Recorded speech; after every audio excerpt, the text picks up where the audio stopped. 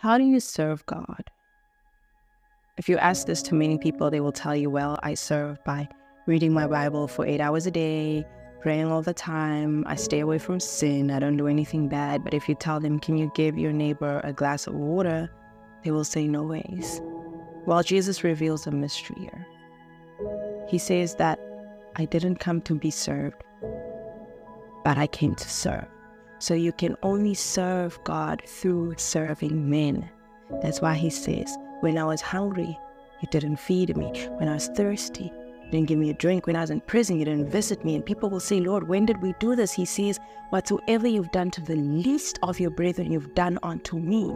If your brethren asks you, if your sister asks you, if your friend asks you, hey, can you go one mile for me? Say, you know what, I'm gonna go two miles for. How many times do you serve? Because when you serve, you get exalted. But if you exalt yourself, you will be brought low. We can only serve God through serving people. So we have to check our hearts daily. We have to check our hearts daily. You serve your family, your household, your, your brethren, those who hate you, those who persecute you?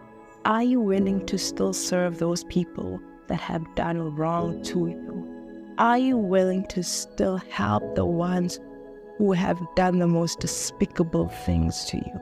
Because guess what? Jesus did. He laid his life down. So should we.